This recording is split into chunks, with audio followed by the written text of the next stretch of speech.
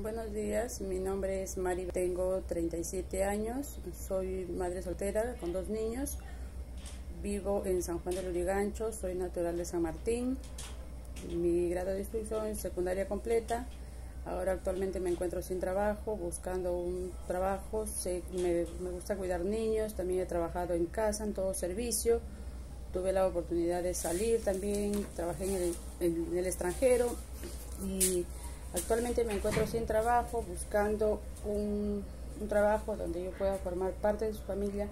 Me gusta, me considero una persona honrada, honesta, trabajadora.